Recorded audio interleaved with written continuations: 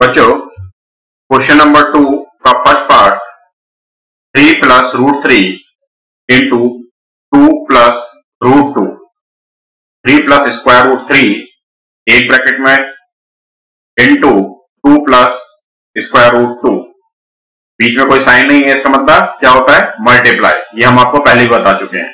अब यहाँ आपको दो ब्रैकेट्स को मल्टीप्लाई करना है। ठीक है? बेसिकली ये आप पढ़ चुके हो प्रॉपर्टी भी ठीक है? मल्टीप्लाई तो करना ही होगा। तो यहाँ पर three into two plus first term का फ़र्स्ट टर्म से हुआ। अब फ़र्स्ट टर्म का सेकंड टर्म से तो थ्री इंटू रूट टू ठीक है? प्लस क्यों आया? क्योंकि ये भी प्लस है और ये भी प्लस है।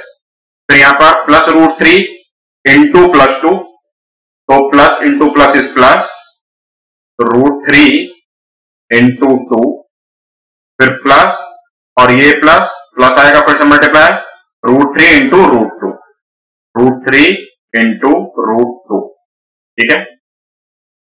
तो three into two six rational का रैशनल से मल्टीप्लाई रैशनल आता है रैशनल का इरेशनल से मल्टीप्लाई इरेशनल ही रहता है, ये थ्री रूट टू ही रहेगा, ठीक है?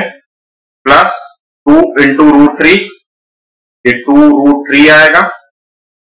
फिर रैशनल का रैशनल मल्टीप्लाई रैशनल आता है, लेकिन क्योंकि ये स्क्वायर रूट है और ये भी स्क्वायर रूट है तो इनको आपस में मल्टीप्लाई किया जा सकता है। तो square root three into two ठीक है, ऐसा कर सकते हैं। हमने आपको बताया था nth root A into nth root B क्या होता है? एंथ रूट ए बी होता है, ठीक है? Nth root A into nth root B को मल्टीप्लाई हम नहीं कर सकते हैं। Nth root A into mth root है एम ठीक है? तो अगर अलग अलग रेडिकल साइंस है तो उनको आपस में मल्टीप्लाई नहीं किया जा सकता है। अंदर मल्टीप्लाई नहीं किया जा सकता कैसे किया जा सकता है? ये बात की बात है, ठीक है? अभी आपको ऐसे करना है। तो ये हो जाएगा सिक्स प्लस अब देखिए ये भी डिफरेंट रेडिकल साइंस के साथ है रेडिकल साइन सेम है, लेकिन रेडिकल साइन के अंदर डिफरेंट वैल्यू है। यहाँ टू है और यहाँ थ्री है। तो इनको भी प्लस नहीं किया जा सकता है तो ऐसी रहेगा three root two plus two root three और प्लस रूट सिक्स ठीक है? ये क्लियर है?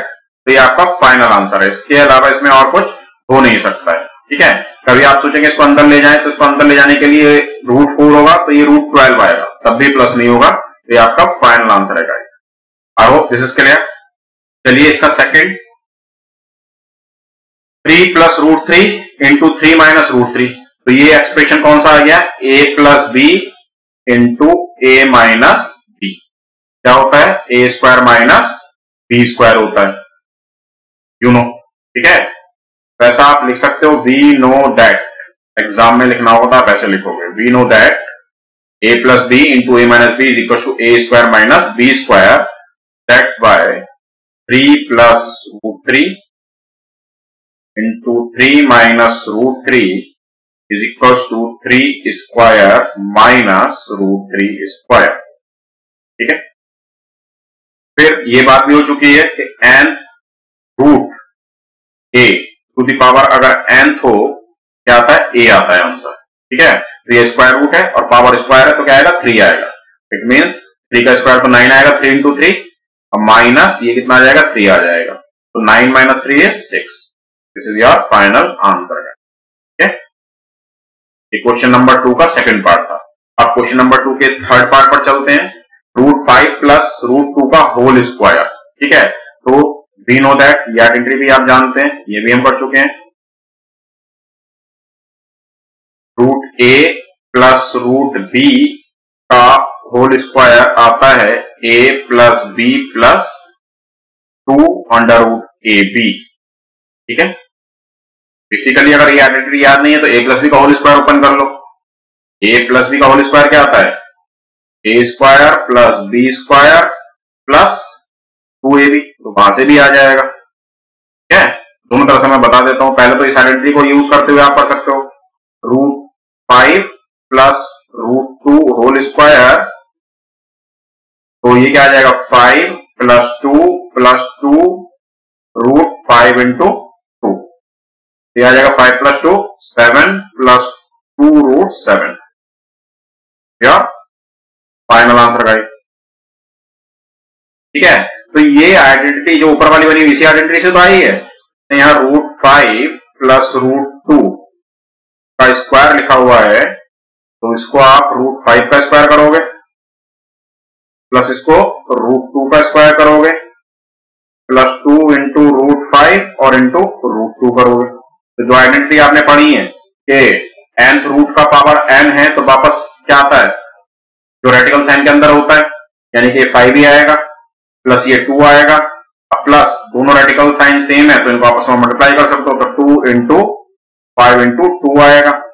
Five plus two seven plus two root अब ये आपस में प्लस नहीं हो सकता है। आ, ये सॉरी मैंने सेवन लिख दिया। सेवन नहीं है गाइस कितना है ये टेन है। ठीक है? Five into two is ten तो क्या आंसर आएगा आपका? Seven plus two root ten और ये भी सेवन एक ही है। ठीक है? इसको हमने इस आइडेंटिटी डायरेक्ट आइडेंटिटी से सॉल्व कर दिया।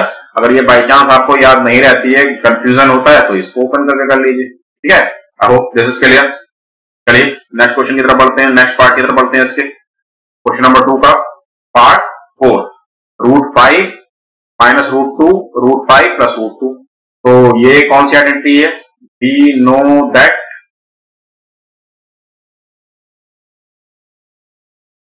root A plus root B और root A minus root B क्या आता है? ए माइनस बी ठीक है? या ए प्लस बी और A minus B is equal to A square minus B square इसी का भी यूज़ करके आंसर आ जाएगा। तो इसको यूज़ करते हुए तो सीधे आंसर क्या आएगा? Root five minus root two into root five plus root two अब इसके सामने ये लिखेंगे वी नो दैट फिर इसको लगाएँगे आ जाएगा फाइव माइनस टू क्या आ जाएगा? तो आपका ये फाइनल आंसर आ जाएगा। ठीक है? और अगर इसको यूज़ करना चाहते हैं तो root five minus root two का स्क्वायर और इसका स्क्वायर रूट फाइव का स्क्वायर फाइव आएगा रूट टू का स्क्वायर टू आएगा तो फाइव माइनस टू थ्री आपका फाइनल आंसर आएगा guys I hope this is clear